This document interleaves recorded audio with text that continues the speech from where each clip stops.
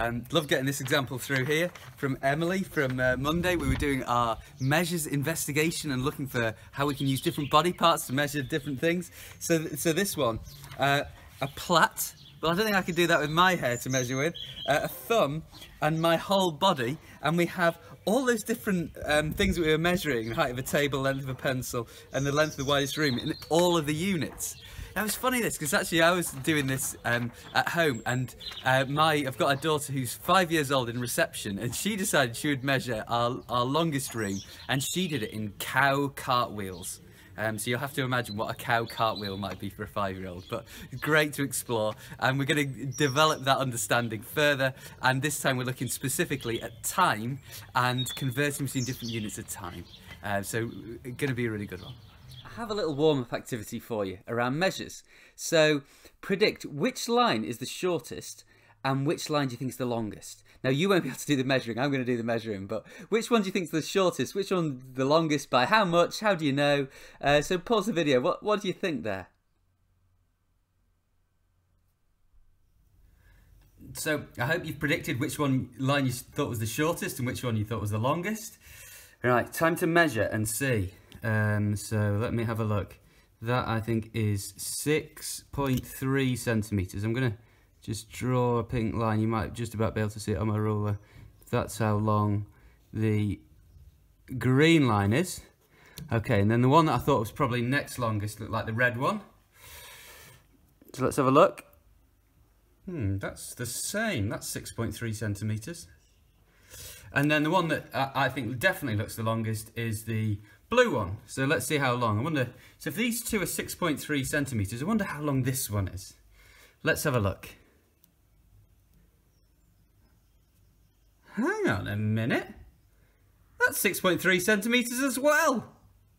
Well, everyone, it's a little bit of an optical illusion because your brain almost tricks you by seeing these lines coming inwards. It makes this green line look shorter and seeing these lines going up, it makes the blue line appear to be longer. But only by measuring can we see, well actually, they're exactly the same length. They're all 6.3 centimetres long. So today we are powering on from yesterday when we were looking at different forms of measure. Um, so have a look at these examples here, these four examples, and I want you to think which measuring unit would you use uh, for these measurements here. So let's say there's competitors in a 60 metre race. So we know the race is 60 metres long, but how are we going to measure their performance? What unit will we use? What about flour when we're baking cakes?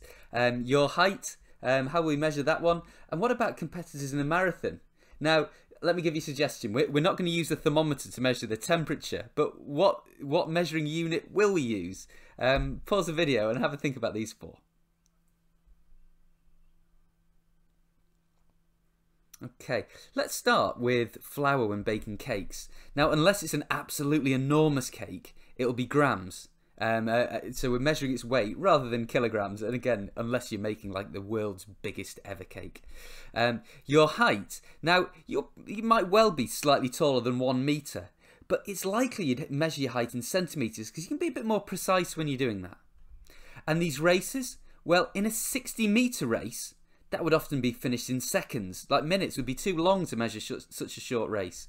Whereas a marathon, well, wow, it would be measured in hours and minutes and maybe seconds. But generally, if people were saying how fast they were to run a marathon, they'd tell you how many hours it took and how many minutes. Today, we're, we're looking at time. Um, now, this is a slightly ironic heading. I'll explain why in a moment, but we're looking at different units of time and how time can be described and measured. Um, so, um, there's lots of different units of time that we can use. Seconds are very short periods of time, weeks, minutes, months, hours, years, days. It depends how long the period of time is, really, which unit we would use to measure in.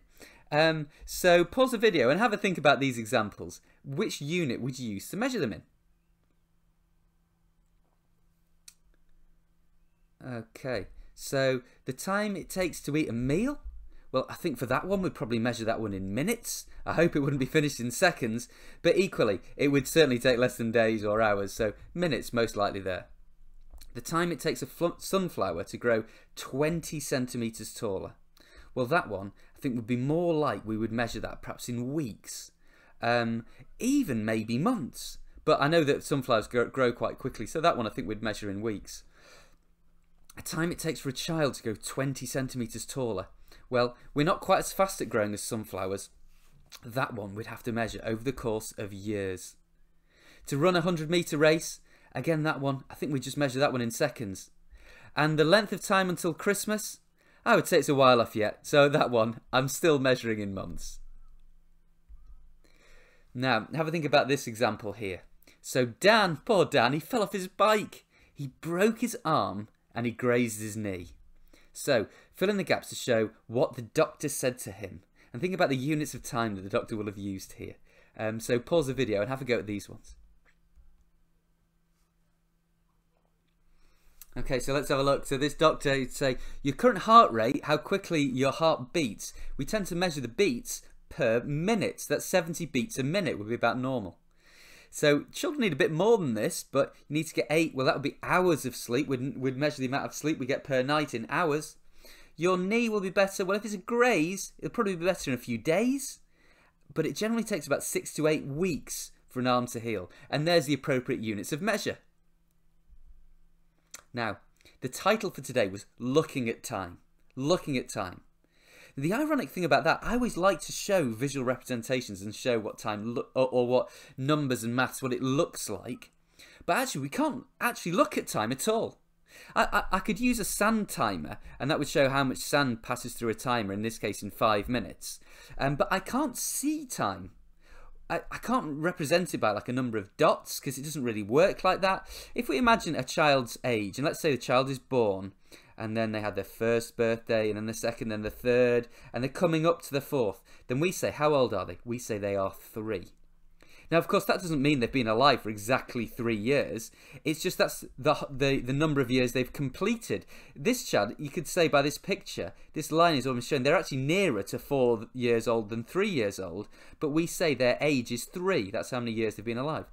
Whereas, of course, before they're one, we just have to measure their age in months, or maybe when they're very young, in weeks, or, or, or even maybe in days, or even when they're really, really young, just in hours. But time, I can never really see it. I often use a line to try and represent time passing though. Now, we've got these different measures for time. Seconds, minutes, hours, days, weeks, months and years. And um, seconds, well, 60 seconds in a minute, 60 minutes in an hour, 24 hours in a day, 7 days in a week.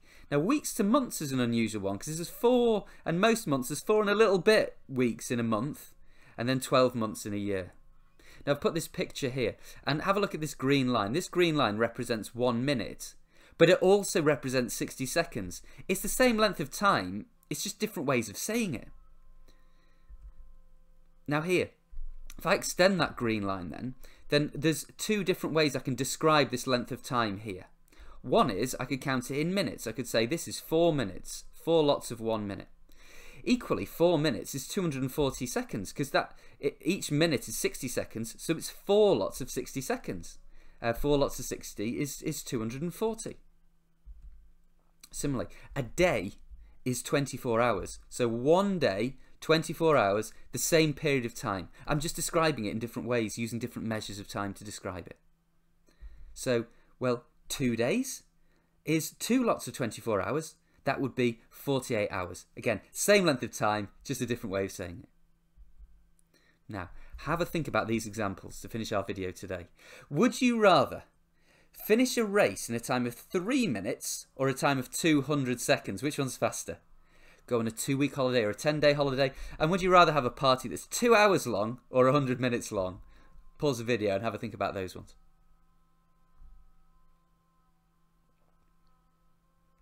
Okay, well, let's have a think. So minutes, three minutes. So each minute is 60 seconds. So 60 and 60 and 60 in total. That's a um, 180 seconds is three minutes.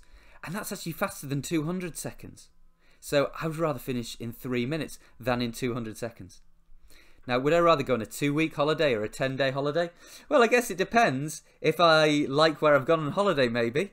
Uh, I like it, being at home as well, but if I'm really enjoying my holiday, two weeks, of course, is longer. It's two lots of seven days, which is more than 10 days. A party that's two hours long or 100 minutes long, well, each hour is 60 minutes. So if I'm enjoying, enjoying my party, two lots of 60 minutes is 120 minutes. I think I'd rather have the two hour party than the 100 minute one. Again, that's assuming I'm enjoying my party, which I would be. So for today's task, click on the blue link underneath the video. Um, for task A, have a look. Part one, for each of these pairs in each different colour, circle the longer length of time. So which of these two red ones is the longer length? Which of the two green ones is the longer length of time? How do you know? And then part two, complete the sentences. So two minutes is the same as how many seconds, and so on. Uh, task B is similar-ish, except these three lengths of time, you've got to order them from the shortest length of time to the longest. Have a think about which of those units you could convert those lengths of time into. There's also an extend task. The answer's at the bottom. Uh, I will see you for more work on measures tomorrow.